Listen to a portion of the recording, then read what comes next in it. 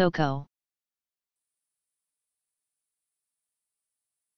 Acronym of sounds okay on paper, something that sounds like a good idea when read about, but is actually not of any practical use when trying to implement it.